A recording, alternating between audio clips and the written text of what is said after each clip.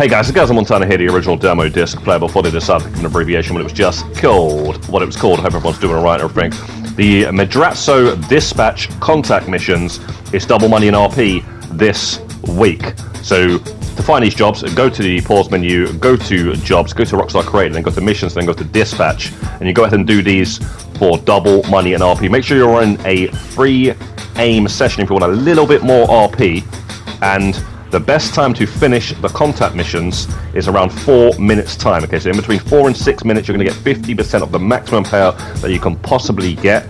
The maximum payout will be at 15 minutes. Okay, so any time after 15 minutes, you're not going to get any more money. So 50% of the money in four minutes is the best time to do it because if you do this mission three times, like you're going to get 150% in just 12 minutes rather than waiting for the entire 15 minutes to get the full 100% payout. Now, the best contact mission out of all of them, I reckon, is the Dispatch Free, where you just have to go to the airport and blow up a plane. Now, go to the airport, wait for about three minutes or three and a half minutes, then go and blow up the plane. If you wait until four minutes, the plane's going to start flying off, which you can do that anyway and just blow up the plane whilst it's flying off if you've got a Mark II or whatnot. Now, um, Guys, there is a little bit of an issue here though. Do you remember when the Project Overthrow DLC came out? Rockstar turned the Martin Madrazo contact missions from having to be a minimum of two players to start these missions to now being one player's minimum to start, which is great and everything. Uh, the only problem is they forgot to change that when you put them in a playlist. So if you put these in a playlist, they are still a minimum of two players. So guys, if you're going to want to do these, you can't pop them in a playlist if you want to do them solo. Yeah?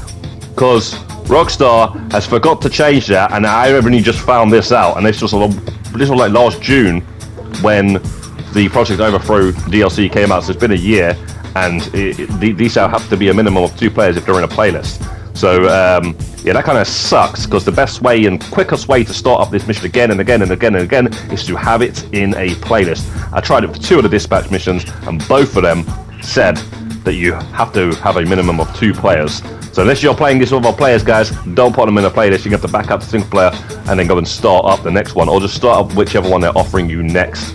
Um, unfortunately, you won't be able to do the same one over and over and over again as quick as possible using the playlist feature. Now, the payout for dispatch contact missions was increased permanently with the bottom dollar bounties DLC, and now it's double money, so definitely worth doing, and the RP is definitely worth doing for the RP as well.